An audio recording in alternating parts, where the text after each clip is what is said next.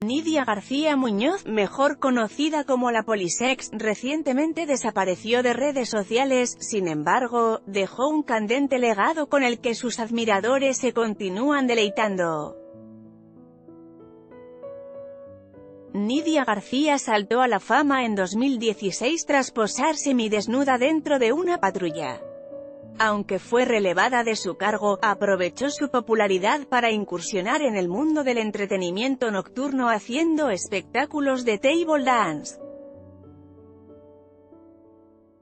Gracias a la viralización de sus imágenes eróticas, la policía fue nombrada en redes como la Polisex, lo que le permitió posar en una prestigiosa revista para caballeros y, más tarde, protagonizar una candente grabación al lado de la candente argentina Sabrina Sabrok aunque durante varios meses Nidia García deleitó a su nuevo séquito de fans con fotos en las que presumía sus candentes atributos y compartía sus espectáculos en famosos clubes nocturnos y bares, desde el pasado mes de octubre no se ha sabido nada de ella.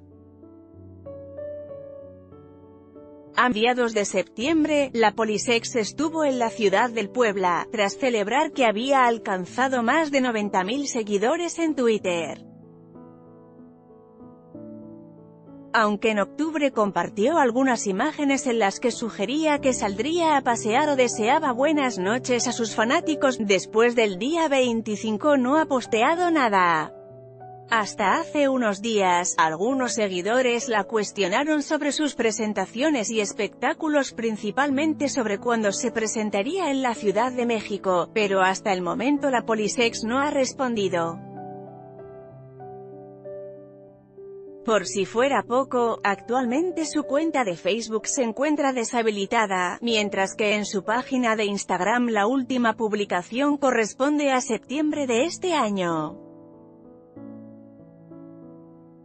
A continuación, te dejamos una breve galería de la Polisex para deleitar tus sentidos con información de la neta noticias foto, Twitter, arroba nidiagrams92 e Instagram, arroba la barra baja poli barra baja sexy. Anímate a comentar. Queremos saber tu opinión. Comentarios Powered by Facebook Comments.